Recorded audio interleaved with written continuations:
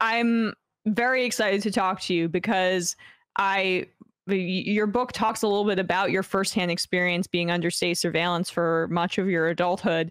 Um, but I also Wikipedia'd you and and saw some of your the long-time activism and the price that you paid for it. So I, I guess we can start there. Um, talk a little bit about your experience of being under state surveillance, both in prison and un- under electronic surveillance outside of, of prison.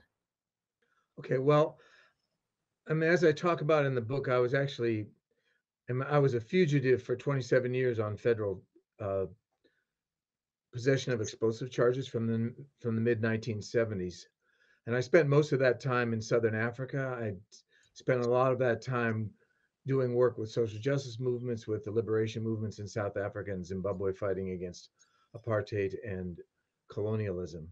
Uh, in 2002, I was extradited back to the U.S. I spent six and a half years in, in, in prison in federal and state institutions in California And when I came out in 2002, uh, sorry, in 2009, I was placed on an electronic monitor. When I got the day after I got home, they put this thing on my ankle and they told me I would only be allowed out of the house from 6 a.m. to 10 a.m.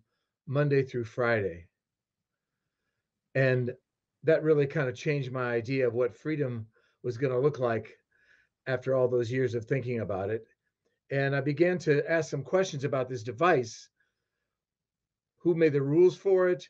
Who was making money off of it? And probably most importantly for today, where was this device going in terms of its capacity to surveil? At that time, it was it was tracking location, but it didn't do some have a lot of the bells and whistles that are on devices now, and it wasn't really connected to a broader surveillance state that it is now, which is kind of what I talk about in the in the book which I refer to as e-carceration. And and it's not just a surveillance state, and we can get into that. It's it's very global, uh, which is part of what's terrifying about a lot of this technology. Um, but I guess uh, I, I, I also um, hope you could expand on how your your uh, activist work was very much a part of the liberation politics of the 70s and during that period. I mean, how did your uh, your activism and your experience with that maybe give you a different perspective on uh, the the e-carceration electronic monitoring that you later dealt with in your life? Okay so my, my activism in the in the 70s in the us was i mean i mean i was involved in anti-war movement but i became involved in revolutionary violence as we called it. Um, I mean, I have a lot of I have a lot of uh, reflections on that particular choice, but I think I learned a very different politics when I went to Southern Africa and I became part of mass movements, which involved ordinary workers, ordinary community members who, despite not having extensive formal education, who despite not being, who despite having English as their fourth or fifth language, we're still able to conduct incredible political debates and political campaigns and begin to develop a model of participatory democracy which involved ordinary people making decisions and building organizations and being able to pull 3 million people out on any given day on a general strike. So that that kind of activity really changed my idea about what politics should look like. And that's why when i when i came back to the us uh, I looked around inside these prisons and I saw, I, I just saw this endless sea of bodies coming through the gate, disproportionately black, disproportionately brown, overwhelmingly poor. And I had to try to figure out what was going on here because I hadn't really followed this phenomenon of mass incarceration. So I, when I came out, I had taken the decision that I wasn't going to be able to go back to South Africa because I was on parole. So I was going to do work in this community in the US around the issues of mass incarceration and try to apply some of the lessons that I'd learned about movement building and organizing in South Africa in the US, which is a very different politics than what I embodied in the 1970s. So I guess we can we can start there because you do talk a lot about the racial biases in some of these programs. Um, there is a sense sometimes that uh, from people that that the um, electronic monitoring home uh, surveillance, being outside of the prison, that that's got to be applied basically equally to people when that's not, of course, the case. Well, I think that's true. I mean, one of the remarkable things about electronic monitoring is the fact that we have almost no data on it. Uh, we, we have we do have numbers for people in prison. We can get racial breakdowns of who's in prison, but I mean, I've sent out a whole lot of Freedom of Information Act requests to states, to counties, and so forth, trying to get them to provide simple data about electronic monitoring. How many people do you have on it? What's a racial breakdown of it? How much are they paying on it if they are paying? And most importantly, how many people are being sent back to jail or to prison for minor violations, coming home late from work because the bus is delayed, having to take a child to the hospital without permission, and so forth.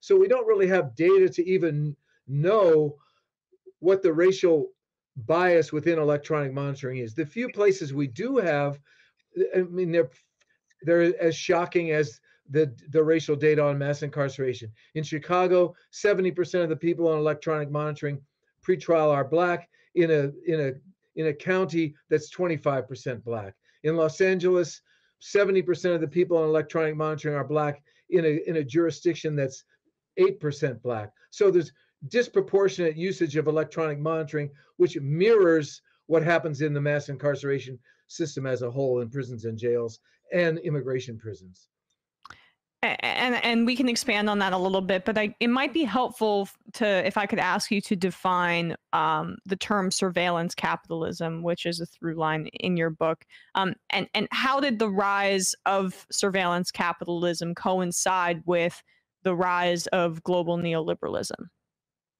Well i mean surveillance capitalism as an as an entity really means that uh, that data becomes the new sort of the new raw material for making money. So all these all these technologies, many of which I detail in as e-carceration, whether it's license plate readers, street cameras, facial recognition, electronic monitoring being kind of the classic because it's a, a clear it's clearly a process of incarceration that's more like a prison or a jail than say facial recognition which isn't ne- which people don't necessarily associate with depriving people of their liberty. But all this is used as a way t- for for companies to gather data on us to try to predict our behavior and then to use those predictions either to control us if we are what I call the criminalized sector of the working class. That is, poor people who are already marginalized, who are maybe been in the criminal legal system, been in the mental health system, been in substance abuse uh, programs, and so forth. All these people are already being being watched and being controlled and being blocked from access to oppor- to opportunity. But then we have the the you know the broad surveillance of cell phone calls, emails, and so forth, all of which gather more and more data which go to the cloud, which is owned by Amazon, Google, etc. And we don't know what happens to it, but I think we can guess when we get all these messages popping in onto our screens about buy this, buy that, and they're talking about something we just sent an email about two minutes ago. Yeah, well, which makes your uh, comment about how you have sent FOIA requests and tried to get some transparency on this issue, especially ironic because the breadth and the wealth of data in this area has got to be infinite. Absolutely. But what happens is that the companies that sign the contracts for electronic monitoring aren't held to any accountability at all. So I've also sent out around Freedom of Information Act requests to many jurisdictions asking them to give me reports, evaluations, assessments of the impact of their of their so-called programs and I think I've managed to get about two reports that were generated by a jurisdiction or by a company. It's not part of their contract. The only thing that's stipulated in the contract, how much you're going to pay for the devices and what's the what are the kind of technical specs of these devices, but there's nothing about accountability, what are the rules going to be for the people who are on it and how are we going to see if it's having an impact? Because I mean, I call this in the book, I refer to this as the mythology of electronic monitoring. We assume it's doing something because people say this is what it's supposed to do. But there's no there's no data there's no proof as you as you point out in this era where you know data data rules but all of a sudden we have this surveillance technology that's gathering all this data and we can't even access it to know what it's saying about us or how it's being used against us unless we go to apply to you know rent an apartment or apply for credit and all of a sudden you know we get these numbers and these rejections back without explanation um, so it's it, it's really a, a, a, cloud of mystery a, a, cloud of mystery. There we go. Very uh, unintentional pun, uh, potentially.